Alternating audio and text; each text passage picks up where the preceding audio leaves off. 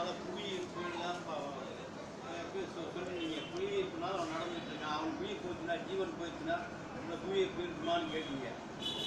அக்னிநேச்சர்ல கூட புவியீர்ப்பு செய்கிறது புவியீர்ப்புங்கிறது வந்து அக்னிநேச்சர்ல கூட இருக்கணும். இதே உயிருள்ள மனிதன் வந்து வாயுமண்டலத்துக்கு அப்பால போயிட்டான்னு வச்சுக்கோங்க. அங்க உயிருள்ள மனிதனே மிதக்கிறானே. அங்க புவியீர்ப்பு இல்லையே. என்ன சாமி. சூரியன் சூரியனிடத்திலிருந்து ஈர்ப்பு சக்தியாக தான் இந்த பூமி சரியா? இந்த பூமி சூரியனை சுற்றி வருகிறது. அப்படி சுற்றி வருவதற்கு எவ்வளவு காலம்? இந்த பூமி சூரியனை ஒரு சுற்று சுற்றி வர முன்னூத்தி அறுபத்தி ஐந்து நாட்கள் ஒரு ஆண்டு. இல்லையா? இந்த பூமி பூமியை சந்திரன் சுத்தி வருகிறது. அதுக்கு எவ்வளவு நாள். முப்பது நாள் இல்லையா? ஏன் இந்த சந்திரன் விலகி போய் சுத்தம் தானே? பூமி சூரியனை தாண்டி வேற ரூபத்தில் சுத்தம் தானே?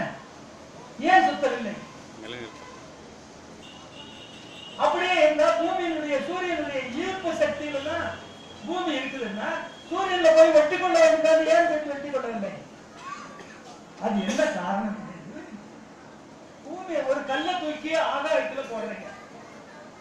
ஒரு குறிப்பிட்ட தூரம் வேண்டிய இங்க இருந்து நீங்க வீசும் போது வேகமா போகும். போக போக போக வேகம் குறையுது இல்லையா அப்புறம் குறைஞ்சு அப்படியே ஆடி ஆடி கொஞ்சம் தூரம் போய் திருப்பி கீழே வந்துருது இல்லையா வரும்போது மெதுவா வரும். கிட்ட வரும்போது பூமி கிட்ட வரும்போது வேகமா வந்து விழுந்து போகுது இல்லையா ஆக ஈர்ப்பு சக்தியினால் அந்த ஈர்ப்பு சக்தியினுடைய திறம் எவ்வளவு தூரம் ஈர்க்கிறதோ அது வந்து அதுல என்ன இருக்கும்? இப்போ சூரியனுடைய ஈர்ப்பு சக்தி ஆயிரம் கிலோமீட்டர் வேகம்னு வச்சுங்க. ஆயிரம் கிலோமீட்டர் வேகத்துல பூமி சூரியன் ஈர்த்து கொண்டிருக்கிறது. அந்த பூமியினுடைய ஈர்ப்பு சக்தி நூறு கிலோமீட்டர் தான். இப்ப ஆயிரம் கிலோமீட்டர்ல நூறு கிலோமீட்டர் போய் ஒட்டிக்கலாம் இல்லையா ஏன் ஒட்டவில்லை என்றால் ஆயிரம் கிலோமீட்டர்ல தொள்ளாயிரம் கிலோமீட்டர் தூரத்துக்கு வரும்போது அந்த ஈர்ப்பு சக்தி குறைஞ்சிருக்கு இல்லையா? தொள்ளாயிரம் கிலோமீட்டருக்கு வரும்போது நூறு கிலோமீட்டர் ஈர்ப்பு சக்தி தான் இருக்கும். சூரியனுடைய பூமியினுடைய ஈர்ப்பு சக்தி எவ்வளவு? நூறு கிலோமீட்டர் ஏன்னா போக போக போக ஈர்ப்பு சக்தி குறைஞ்சிட்டே இருக்கு இல்லையா?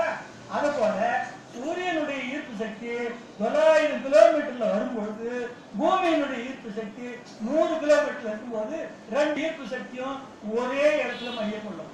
அப்படி மையம் கொள்ளும் போது அந்த பக்கம் போக முடியாது இந்த பக்கம் போக முடியாது. அதனால சுத்தி வரும். இந்த ஈர்ப்பு சக்தி எல்லையை தாண்டி போயிட்டா மனிதனுக்கு இரவு பகல் கிடையாது. அந்த எல்லையை தாண்டி போனா நாம அந்த எல்லையை தாண்டி போற தகுதி நமக்கு இருக்குது. புற உறுப்புகளை வச்சு ராக்கெட்டை வச்சு மின்சார சாதனங்களை வச்சு தான் போக முடியுது. வள்ளலார் என்ன சொல்றாரு? அந்த கோடிகள் தான் மணியே. மணிய நீங்க வாங்கி வச்சுட்டீங்கன்னா மணியா மாறிட்டீங்கன்னா மணி தயார் மணி நிலைக்கு வந்துட்டீங்கன்னா அண்டங்களை எல்லாம் ஆராய்ச்சி செய்யலாம். வேற கேள்வி? ஐயா இந்த மானிட பிரிவுல இறைவன் வந்து அவதாரங்கள் எடுக்கிறாங்க. அந்த அவதாரங்கள் வந்து அவர்களும் மனிதர்கள் போல ஏன் கஷ்டப்படுறாங்க அவர்களும் மனிதர்கள் போல ஏன் கஷ்டப்பட்டு சில இது நடக்குது. அவங்களுக்கு சரி உட்காரு. நம்ம நாட்டுல நூல்கள் படைத்தவர்கள் படைத்த நூல்கள் பௌராணிக நூல்கள் என்று ஒரு வகையான நூல். தத்துவ நூல்கள் என்று ஒரு வகையான நூல். ஆராய்ச்சி நூல்கள் என்று பல வகை உலகத்துல தோன்றிய நூல்கள்ல நூல்களுக்கு முறை என்று ஒரு நூலுக்கு உரை என்று அறிமுகப்படுத்தியது தமிழ்ல மட்டும்தான். வேற எந்த மொழியிலையும் அந்த மொழியிலேயே அந்த நூல் வந்தா அந்த நூலுக்கு அந்த அந்த மொழியில ஒரு உரை எழுத யார் எந்த நூல் படிச்சாலும் அந்த நூலே மற்ற எல்லா உலகத்துல இருக்க எல்லா நாடுகளிலும் படிச்சுப்பாங்க. ஆனா தமிழ்ல மட்டும் நூல் படிச்சுட்டா அந்த நூலுக்கு ஒரு உரை செய்வார் அத முதல் முதல்ல அறிமுகப்படுத்தினவர் வாரம் சரவணன் சார் அவர்களுக்கு உரை எழுதுறதுக்கு எத்தனையோ பேர் கேட்டாங்க. திருச்சியபுரம் மீனாட்சி முன்னிட்ட ஆர்வம் கண்ட சார் எழுத பார்த்தார். காவேரி கரையில வந்துட்டு இருந்தாங்க. ரயில்வே பாலத்து மேல காவேரி கரையில வந்துட்டு இருந்தாங்க. அப்பா மீனாட்சி சுந்தரம்பிள்ளைகிட்ட கேட்ட ஆரம்பப்பட்டாங்க சாமி அப்ப மீனாட்சி சொன்னாரு நீ பல தடவை கேட்டுட்ட. இனி ஒரு தடவை எனக்கு உரை எழுதுன்னு கேட்ட இப்படியே இந்த காவேரியில மீண்டு செத்துருவான். அகவனுக்கு உரை எழுதுறது அவ்வளவு சாதாரண விஷயம்? மனிதனால் ஆகக்கூடியதா? எழுதலாமா. கூடாதுங்க சரணாந்த சாமிக்கு வள்ளல் பிரானே முதல் முதல்ல உரை உரை கண்டவர் சரணாந்த சாமி. அதனால என்ன சொன்னீங்க நீங்க?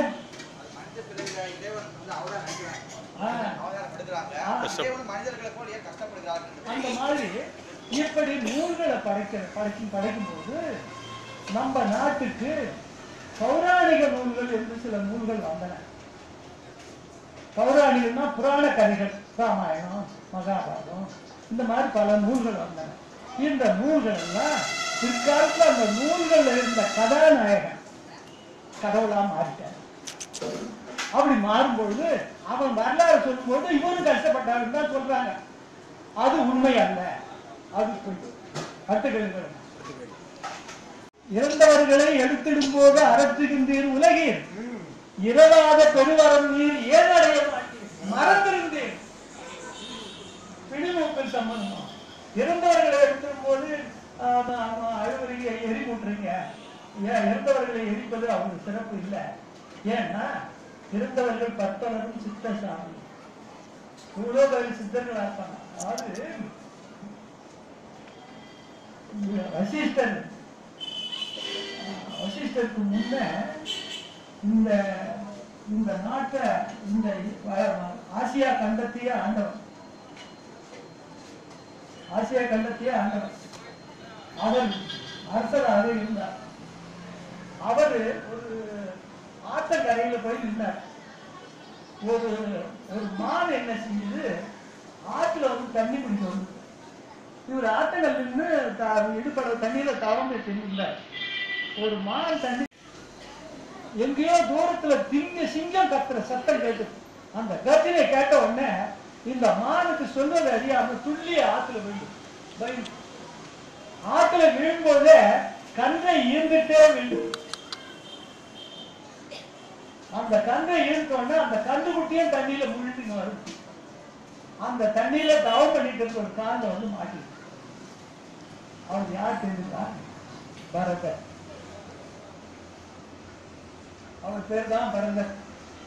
அவர் காலில் வந்து மாட்டிட்டு என்ன காலில் மாட்டுதுன்னு அதை எடுத்து பார்த்தா மாட்டு அது ஆசையா எடுத்துன்னு போய் அப்படியே வளர்த்தாருக்கு உணவு ஊட்டி ஊட்டி வளர்த்தார் காலமெல்லாம் வளர்த்துட்டார் அவர் பத்த பந்த பாசம் பற்று இல்லாதவர். பாசமே இல்லாதவர் அவர் இந்த மான் மேல பாசம் செலுத்தினால அவர் மடிஞ்சு மானா பறந்துட்டார். பிற்காலத்துல மானா பிறந்து அவர் மடிஞ்சு ஒரு வீட்டுல போயிட்டு ஒரு பிள்ளையா பிறந்தார். மூன்றாவது பிள்ளை தடியன் வீணோ தண்டுங்கிற கண்டதுன்னு முறைச்சிக்கினே இருப்பான். ஒரு வேலையும் செய்ய மாட்டான். பார்த்த சாட்டமா இருப்பான். சோழ புல்ல கொண்டு போய் காவல் காக்க வச்சுட்டாங்க. அப்ப அஹ், அந்த வழியா பல்லாக்குல போயிருந்தார் பல்லாக்கு தூக்க தூக்கிறதுக்கு ஆள் இல்லாத இறக்கி வச்சாங்க. அது ஒரு தடி நிற்கிறான் அவனுக்கு பல்லாக்கு பல்லாக்கு தூக்க சொல்றாங்க. அவன் வந்து பல்லாக்கு தூக்கிறதுக்கு கூப்பிட்டாங்க. வாடா அவன் தூக்குடாங்க முறைச்சிட்டே இருந்தான் தூக்குடான்றேன் அப்படின்னு சொன்னான். கேட்கல. அவர் கோலை எடுத்து ஒரு அடி அடிச்சு தூக்குறாங்க. அவன் கேட்டான் உங்களை தூக்க சொல்லுகிறீர்களா? உங்கள் ஆன்மாவை தூக்க சொல்லுகிறீர்களா? கேட்டான். அப்பதான் வசிஷ்டர் கண்ணை மூடி தியானம் பார்த்தா அடியப்பா பரதன் மகான். அடியேன்னு காலில் விட்டார். அப்பதான் அவருக்கு முக்தி கிடைச்சது. என்ன கேட்டுக்கிறீங்க?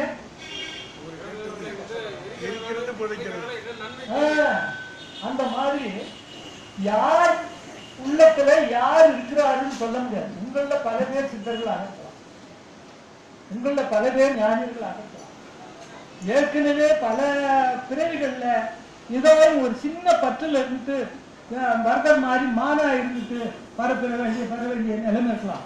பிற்காலத்துல மனித கூட இருக்கலாம். நம்மவர்கள் எத்தனையோ பேர் அறிஞர்களா இருக்கலாம். அதனால இவர்களை எரிச்சா அவர்களையும் சேர்ந்து எரிச்சு ஆகும். அதனால எரிக்க வேண்டாம். சரியா? சொல்றாங்க சாமி அனஞ்சயன் வாயுன்னு சொல்லி நம்மளை காத்துக்கிட்டு இருக்கக்கூடிய ஒரு வாயு இருக்கு. ஆமா. நம்ம உடம்புல வந்து பத்து வகையான வாயு பிராணன் அபானம் உதானம் நாதன் விருந்தரம் தனஞ்சயம் தேவதத்தன் பத்து வாயு இந்த பத்து வாயுல தனஞ்சயன் என்ற வாயு மட்டும் உடம்பு விட்டு வெளியேறாது. இறந்து பிறகு அது அப்படியே உடம்புல அடங்கி இருக்கும் அந்த தனஞ்சயன் வாயு எப்படிப்பட்டதுன்னா ஆபத்து சாபத்துகள்ல அடிபட்டுட்டா அந்த இடத்துல வீங்க செய்யும். கையில அந்த அடிபட்டு வச்சுங்க அந்த இடம் வீங்கிடும். அப்படி வீங்கிட்டாங்க அந்த இடத்த வீங்கி அந்த இடத்த பாதுகாக்கும் அது போல இறந்த பிறகும் ஒரு ஏழு நாள் இருந்தும் இந்த உடம்பு வீங்க செய்யும். அப்படி நீங்க செய்யற கருஞ்சியின் வாழ்வு இளமையில இருந்து நம்மளை கா அதுக்கு தண்டிக்கிறதா. அதனால அந்த கருஞ்சியின் வாழ்வுக்கு தண்டனை கொடுக்குறாங்கன்னா அவரை பதிக்க பதிக்கணும் கொளுத்தக்கூடாதுன்னு சொன்னாங்க? வேற.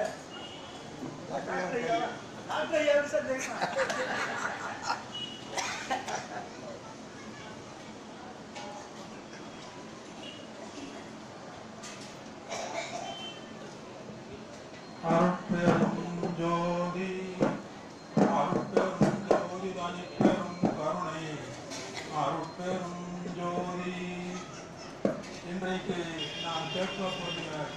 வந்து எனக்கு மிக நன்றாகவே அர்த்தம் தெரியும். ஏனென்றால் சுவாமிகள் எழுதிய நூல்களையெல்லாம் ஒரு முறை இல்லாமல் பல முறை குறைந்தபட்சம் ஒவ்வொரு நூலையும் பத்து தடவை படித்தவன்.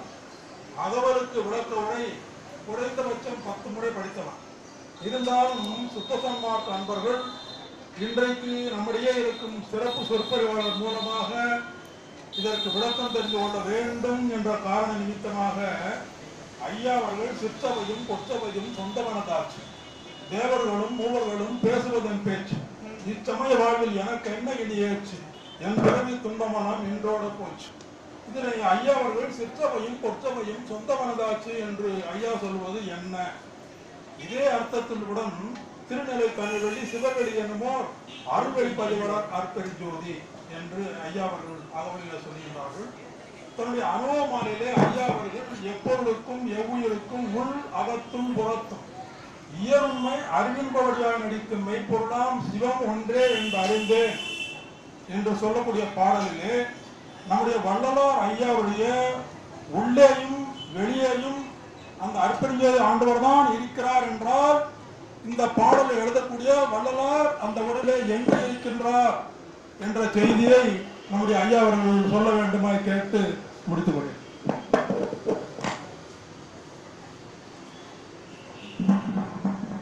வடலூர் ஞான சபையில வடலூர் ஞான சபைக்கு முன்னால வலது பக்கம் சிற்றவையும் இடது பக்கம் பொற்சவையும் வச்சிருக்காங்க வலது பக்கம் சிற்றவையும் இடது பக்கம் பொற்சவையும் வச்சிருக்காங்க. இந்த சிற்சபை என்பத சபை என்ற சொல்லுக்கு கூடிய கூட்டம் உள்ள இடம் என்று சொல்லலாம். ரெண்டாவது இத வந்து பட்டிமன்றம் என்று கூட சொல்றாங்க இதுக்கு பட்டிமன்றம்ன்ற சரியா? அதோட நான் பாத்துருக்க என்னை தனியேற்றி பட்டு மண்டபத்தில் வைத்தமை தந்தையா இதுக்கு பட்டிமன்றம் எட்டு ரெண்டு அறிவித்து எழுத்து நிகழ்ச்சி பட்டிமன்றத்தில் பரிசனை தந்தையே. பட்டிமன்றம்ன்ற பட்டி என்ற சொல்லுக்கு வட்டம் என்று பட்டி என்ற சொல்லுக்கு வட்டம். அந்த வட்ட சபையில எங்க டாக்டர் ஐயாவுக்கு நான் ஒரு ரகசியத்தையே சொல்லுறேன் வழி இல்லை. இந்த பட்டிமன்றத்துக்கு போகணும்னா ஆறு வகையான ஆபத்து விபத்துகள்ல இருந்து கடைபிடிச்சு வெளியே போகணும். பட்டிமன்றத்துக்கு வேணும். பட்டிமன்றத்துக்கு போறதுக்கு அவ்வளவு சாதாரண விஷயம் இல்லை. அதுக்கு கடுமையான காற்று அடிச்சு அடிச்சுட்டு போவோம் புயல் ஆயிரம் கிலோமீட்டர் வேலைக்கு ஒரு புயல் அடிச்சா நாம எல்லாம் எங்க நிற்போம் முடியாது. நாம நடந்து போகும்போது பூமி ரெண்டா பிளந்தா அது உள்ளார விழுந்தோம்னா நாம போகும்போது நெருப்பு உண்டாகுது நெருப்புல பத்து உள்ள வைக்கணும்னா தண்ணி வெள்ளம் வந்தா? வெள்ளத்துல அடிச்சுட்டு போனா? மின்காந்த கதிர் வந்தா? இப்படி பல வகையான அழிவுக்கு வ- வழி இருக்கு இல்லையா அதெல்லாம் என்ன சொல்றாரு? காத்தாலே புதியாலே ககன மரணாலே கனலாலே புனலாலே கதிராதியாலே கூத்தாலே பிணியாலே கொலைக்கரியாலே கோலாலே பிறர் இயற்றும் கொடுஞ்செயல்களாலே வேட்டாலே இதுவரை நான் சொன்னதுல வேற எதனா இருந்தா அதாலையும் எஞ்ஞாண்டும் அழியாதே மெய்யளிக்க வேண்டும் என்ற. எதுக்கு இதை கேட்டார்?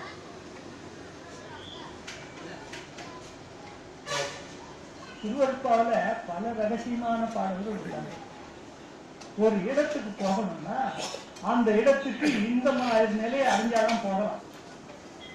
அதுக்கு சபாநாயகர் சபா மண்டபம்னு பேரு.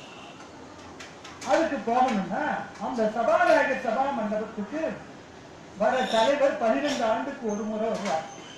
பன்னிரெண்டு ஆண்டுன்னா நமக்கு ஒரு ஆண்டு என்பது முன்னூத்தி அறுபத்தி நாள் தேவர்களுக்கு ஒரு ஆண்டு என்பது நமக்கு ஒரு ஒரு ஆண்டு ஒரு ஆண்டு என்பது அவங்களுக்கு ஒரு நாள். மேல தேவர்களுக்கு ஒரு நாள் நமக்கு ஒரு ஆண்டு என்பது அவங்களுக்கு ஒரு நாள்.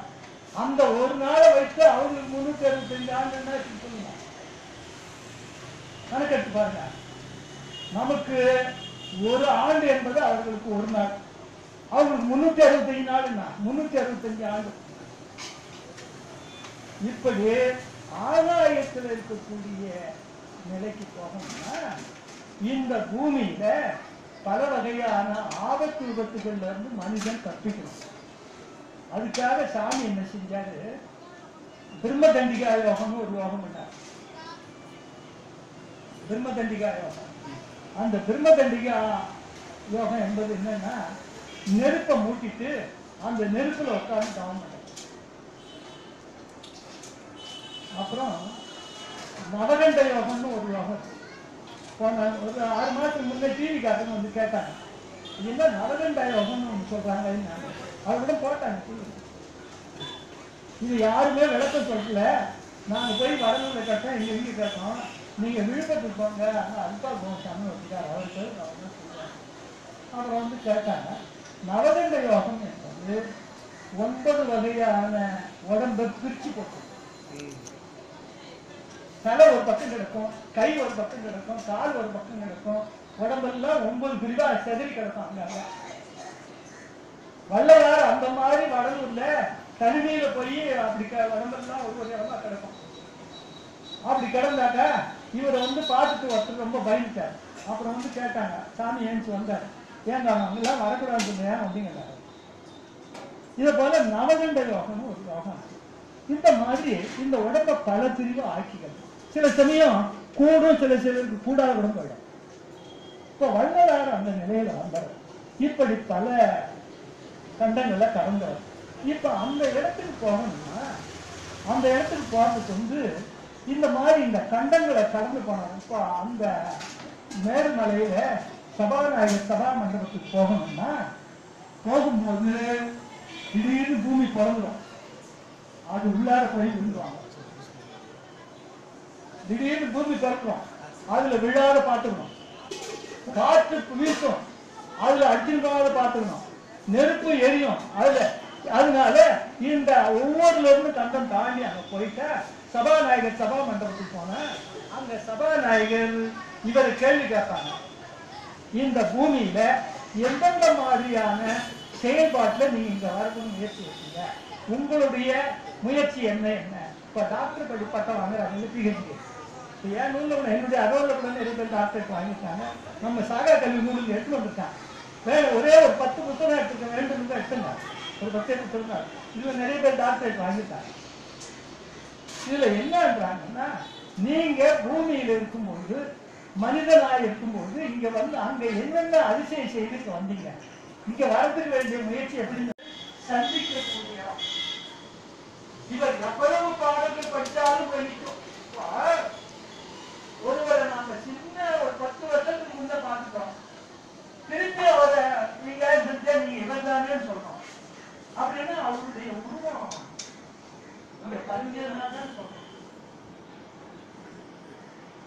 அவ்வளவு பெரிய உருவம் இந்த உடம்புல பதிஞ்சிட்டு ஏற்கனவே. நம்ம கண்ணால எவ்வளவோ காட்சிகளை கண்ணோம் அவைகளெல்லாம் இங்க பதியுது. இங்க பதியுதுன்னா இங்க எவ்வளவு பெரிய ஆற்றல்? அப்ப இங்க எவ்வளவு பெரிய நாம இளமையிலிருந்து கற்ற கல்வி இங்க பதியுது. பார்த்தவைகள் பதியுது. நினைத்தவைகள் பதிகிறது. எவ்வளவோ அதிசய ஆற்றல்கள் இங்க பதியுது இல்லையா? இந்த பதிவுகளுக்கெல்லாம் என்ன காரணம்? சித்து என்ற செயல். சித்து என்ற ஆற்றல் மனித தேகத்தில் ஆற்றல் சித்து என்று அது சபை. அதே மாதிரி பொற்சபை என்பது மனித தேகத்தில் உள்ள உருவம். பொன் என்பதற்கு உருவம் என்று பெயர் பொன்னுடம்பு எனக்கு. புரிஞ்சிடும் பொருட்டு. ஏங்க சரக்கு கையில் இருக்கும்போது என்ன குறைச்சது? படிக்கிறதில்ல காலத்தை வீணாக்கிட்டோம். பொன்னுடம்பு எனக்கு பொறுப்பும் கொடுத்தா என்னோட வரலாறு எழுதம் செஞ்சுடுற ஆக இந்த உடம்புக்கு பொன் என்று பெயர். ஒரு பக்கம் பொன் ஒரு பக்கம் அறிவு. அதுக்கு முன்னால ஆன்மா. அது ஞான சபை இந்த பக்கம் சிற்சபை இந்த பக்கம் பொற்சபை. இந்த ஞான சபைக்கு போகணும்னா சபாநாயகர் சபா மண்டபம் அந்த சபாநாயகர் சபா மண்டபம் நான் இன்றைக்கு இது வந்து சொல்லக்கூடாத ரகசியங்கள். சொல்லக்கூடாதுன்றது எல்லாம் ரகசியம் ஆனாலும் இன்றைக்கு. நம்ம ஒரு திட்டம் நாட்டுல போட்டுருக்காங்கல்ல கரெக்ட் பண்ணுவேன் எல்லாத்துக்கும் எல்லாத்துக்கும் சொல்லணும். நிமூரியா கண்டம் என்று ஒரு கண்டம் இருந்தது. நிமூரியா கண்டம். அது வந்து தெற்க தரைப்பகுதியா இருந்தது மேலுமலை என்ற ஒரு பெரிய மலை. இருக்கு அந்த மலைக்கு நடுவுல தான் சபாநாயகர் சபா மண்டபம் இருக்கு. அது வந்து நவமணிகளால் அலங்கரிக்கப்பட்டது. அந்த சபா சபாநாயகர் சபா மண்டபம் நவமணிகளால் திருவருப்பாவாக இருக்குது திருவருப்பா படிங்க. நூத்தி அஞ்சு பாட்டு நூத்தி அஞ்சு தண்ணி எவ்வளவு பெரிய ரகசியங்கள்லாம் குவிஞ்சு கிடக்குது. நாம அங்க போறதில்ல இதெல்லாம் ரகசியங்கள். மேல் மலையில சபாநாயகர் சபா மண்டபம் அந்த சபாநாயகர் சபா மண்டபம் ஒரு காலத்துல அப்படியே பூமிக்கு கீழே உள்ள கொண்டு போனாங்க. சபா மண்டபம் கீழே அப்ப மேல்மலையும் உள்ள அழிஞ்சு. அப்போ இந்துமக சமத்துவமாக ஆச்சு அது பெரிய பள்ளமாச்சு. இந்த மலை கீழே போய் பூமிக்கு கீழே நெருப்பு கோலமா இருக்கிறது பூமி கீழே. நம்ம பூமி மேல் பகுதியில் தான் தர. ஒரு ஒரு நாலு கிலோமீட்டர் அஞ்சு கிலோமீட்டர் ஆழத்துல போனோம்னா நெருப்பு கோலம். அந்த நெருப்புல போன குழம்பா இருக்கிறதுல நீந்திக்கிட்டே போய் வடக்க போய் அந்த சபாநாயகர் சபா மண்டபம் மேல் நோக்குச்சு அப்படி மேல் நோக்கும் போது இங்க தாழ்ந்த மலை அங்க உயர்ந்து தென்கோடு தாழ்ந்து உயர்ந்தது. உயர்ந்த அந்த மேல் மலை உயர்ந்தது. அந்த மலை உயர்ந்து அது மத்தியில சபாநாயகர் சபா மண்டபம் நிலை கொண்டது.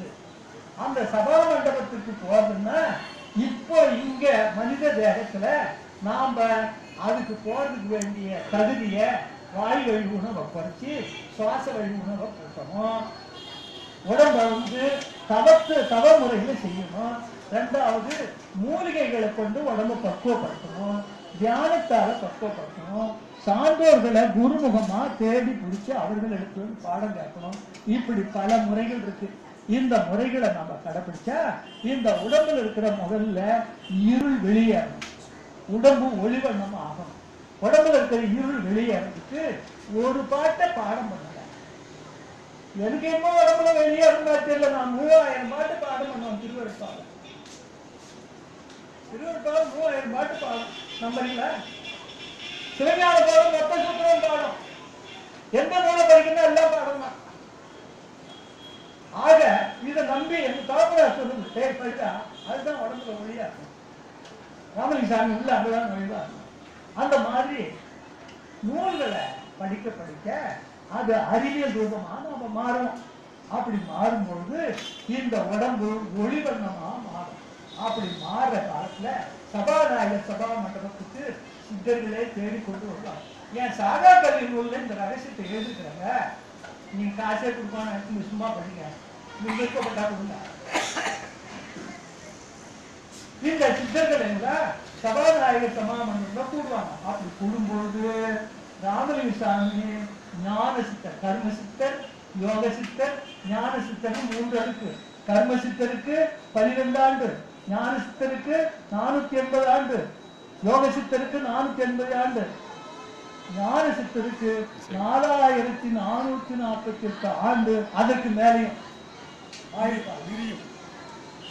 வல்லவர் ஞான சித்தர் சரணாந்த சாமி யோக சித்தர் அதனால்தான் அவர் தயார சித்தர். இவருக்கு இவர் இவர் ஞான சித்தர் ஆவதற்கு காலம் நெருங்கி கொண்டே இருக்கிறது. அதனால்தான் நம்மவர்கள்லாம் தயானந்த சாமி வணங்கணும் அதனால அந்த சபாநாயகர் சபா மண்டபத்துல போய் கூடும். அங்க போய் சேரதுக்கு சித்தர்களா மாறணும். அங்க மாறுறதுக்குன்னா இந்த முயற்சியில நாம மனிதனுக்கு சுதந்திரம் உள்ளது. மற்ற ஜீவராசிகளுக்கு சுதந்திரம் குறைவு. மனிதனுக்கு தேக சுதந்திரம் போக சுதந்திரம் ஜீவ சுதந்திரம் ஆத்ம சுதந்திரம் சுதந்திரம் இருக்கு. இந்த சுதந்திரம் எல்லாம் வீணா பாழ்படுது. நம்ம